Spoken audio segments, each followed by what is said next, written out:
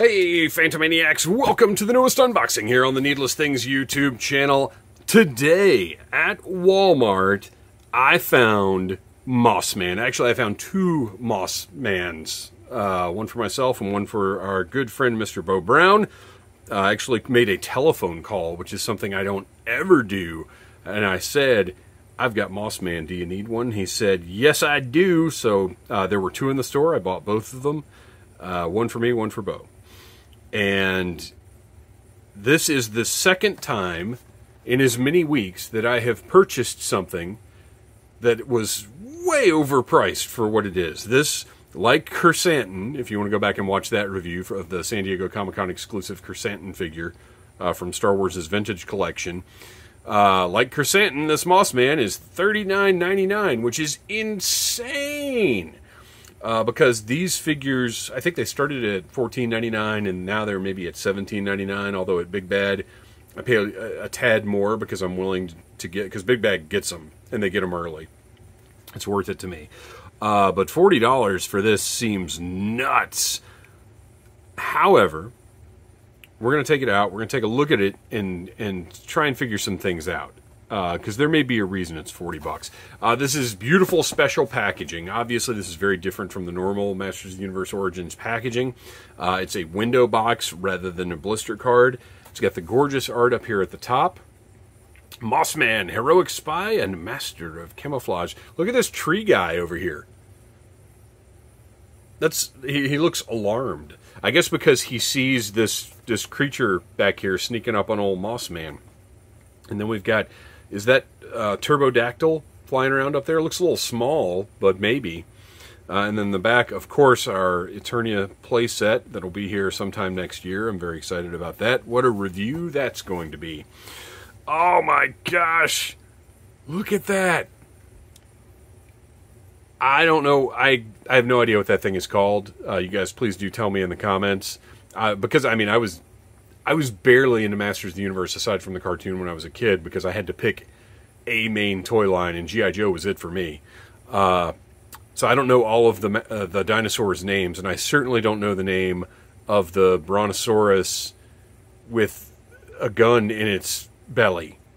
That's wild, and I want a figure of it very bad, or a toy of it very badly. Probably not going to happen because my gosh, look how big that thing would be, but that would be great. Uh, man, I, lo- I love the packaging. I love the attention to detail. I, just everything about this line is top notch. This is, to me, still the best mass market retail toy line of this century. Uh, all right, on the back. Oh, look at this. We've got gorgeous, uh, rather than a cross sell. Why wasn't this Mattel Creations? Doesn't this feel like a Mattel Creations release? Like it really does to me. I, I don't. Uh, I don't know, just knocked over a can of spray paint down there. I don't know if you guys heard that or not. Um, this feels like Mattel Creations. It does not feel. It certainly doesn't feel like a Walmart exclusive. Blah. Uh, so gorgeous art on the back. I love the gloss. Look, it's he's not Moss Man, He's Glossman uh, on this art. Uh, and then you've got some Snake Men over here, which this is. They made this guy in classics. He's from an episode of the cartoon. I can't remember his name, and I don't remember him being a snake. So that might be some new mythology there. Uh, and then this Cobra guy that I think we saw a picture of at San Diego Comic Con. I'm not positive. I apologize for for some of my lack of knowledge of Masters of the Universe lore. Uh, it, it's just it, I, I love this line dearly, but I, I can't say well, and I love classics. That's just my memory is just garbage now. I guess really is all I can say. All right, let's open this guy up. Ah, what is his name? Tell me in the comments. Ooh, look at that fancy little flap action going on there. Okay, so flap opens up, and look at that. What a box. And our interior uh, tray, nice blue color. I'll probably use blue for my thumbnail on him because it'll contrast with everything quite nicely. Uh, and he is just sitting right... Oh, look at how fancy this is. Why wasn't this, man, Poison from the Stars? That is an incredible title for a mini comic. Uh, why wasn't this a Creations exclusive? Uh, so I'm gonna, I'm actually gonna read. I read all these. I love them. They're incredible. The artwork is beautiful. The writing is a lot of fun and very real to the franchise. Uh, you'll notice Mossman is very grooty here, although that goes back to the 2002. Uh, gosh, look, look at the dinosaurs. Oh man, I want those all to be released as toys. Anyway, mini comics are great. Uh, and here is Mossman. Doesn't look like there are any little plastic tabby things holding him in place. Uh, he is just in this tray, which is another very Mattel Creations move.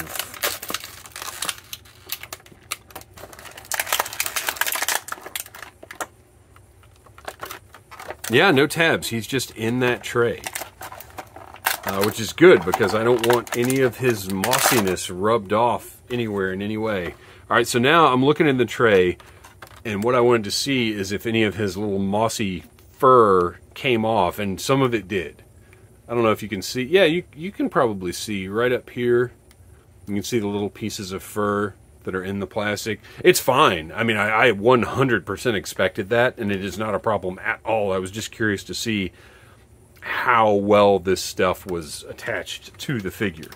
And uh, perhaps how much I'm going to have to clean up my workspace when I'm done here. Maybe I should have reviewed him last today. So here is where I wonder if just the the flocking. Okay, well wait. First, we've got to do a smell test. So, uh, I want you to put your nose right up on the screen. Right up on that screen. Get are you are you there? Are you up on the screen? Let's see how mossy fresh he is. Oh, wow. That's uh did you smell that?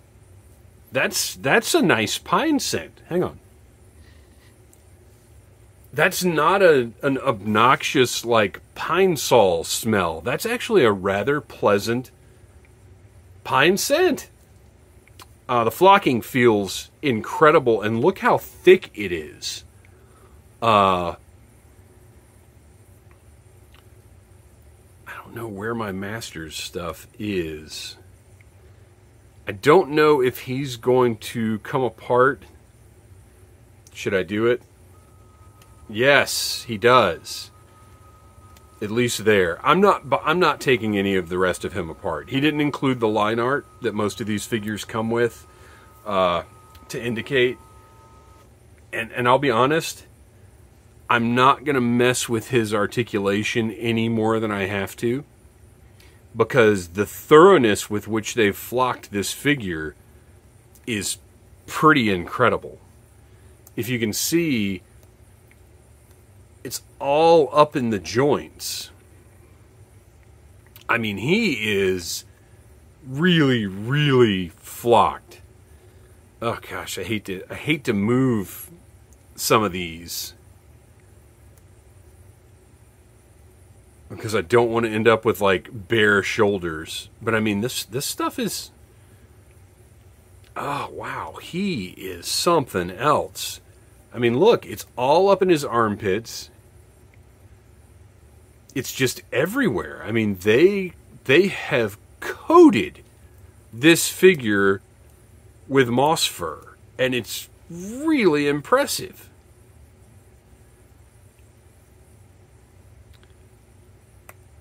Oh gosh, that was terrifying. That noise, I don't know if you guys, you guys probably couldn't hear it, but there was just a ratcheting noise. I'm not even going to bend that knee. And and this is not usually I'm very comfortable. Uh, this is what I should have done. I should have reviewed this, really put it through the paces, and then if it survived, offered Bo the one that I didn't open, just to be sure. Uh, but I just love this figure. It's not. I, uh, it is going to be up to your discretion whether you consider this a toy or not. If you have a child that is collecting Masters of the Universe Origins, uh, and you want to give them a $40 Moss Man, that is up to you. I am not going to tell you yes or no on whether you should do that. But for me, this figure is mostly going to be for display. I mean, well, most of my figures are mostly for display. Oh, my fingers are piney fresh now. I'm gonna have to wash my hands before I do my next review. Uh, you know, th- this flocking may stand the test of time. It may deal. Look how bright it is, and look at the multiple colors, the dark and the light greens that are blended in there. Uh, this really is a fun, fun toy. Uh, you know that it, it's it's up to you what you do with it. If you treat it as a toy, you go for it, and I hope it lasts forever and ever and ever on you. Uh, but I'm, I'm going to do a little bit of posing, figure out how I like him, and put him on the shelf. So we've got this is our basic figure, and it's incredible. Uh, but he also comes with a number of accessories. Uh, he's got a spiked ball it's just kind of posed the way these are. Looks good. Oh, and look, this is there's a there's a attach. This is where the parts attach. They could put something different on the end of this if they wanted to, and use it uh, for a different weapon. Uh, he's got that signature club that we know from all of the different Masters Universe sets that have had it.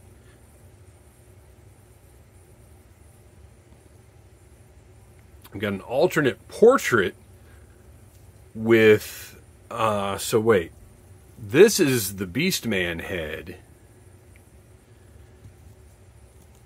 But this isn't like a particularly Mossman looking head. I guess it's, I don't know, it's not flocked. Uh, I won't be using this one. It looks cool. It's fine. But I honestly would rather have had a more Mossman head uh, with a kindler, gentler face, kind of like they did for classics. But, you know, whatever. Uh, he has got an interchangeable left hand with a C grip. And then he has got the Beastman armor that was in, I think, one of the accessory packs that they did. I won't be using this on him, but let's put it on just to see what it looks like because I think the yellow will look pretty pretty good. Little mossy. Will match his belt.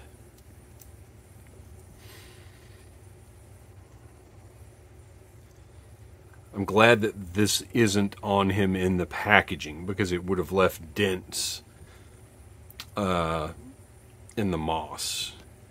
Let's see. I never know if those are supposed to go up or down. And, and also it doesn't really matter. Uh, so, that, well, they're probably supposed to go up because then the fasteners are in the back. So that's what he looks like with that. I will not be displaying him that way, but I do like having the yellow Beastman gear. That's pretty neat.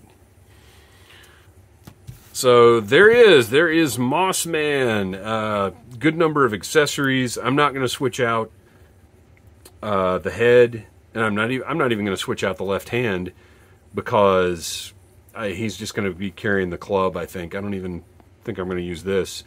Uh, so there he is. He's great. Is he worth 40 bucks? I mean, I guess I say yes because I had to have him. I think he's great in hand. And the way that they flocked him, I can believe was a pretty significant cost to Mattel. Maybe not 40 bucks cost, but uh, th- this is, I would say this is the highest quality Mossman we've ever gotten. And I'm thrilled to have him. So there you go. Thanks for watching. Please like, subscribe, share, tell your friends about Needless Things. Keep an eye out for Mossman and other uh, exclusives in stores near you, I guess. And always check in because we got all the new reviews, all the weird toys, everything you want to see here at Needless Things. Until next time, there's a problem in the trees.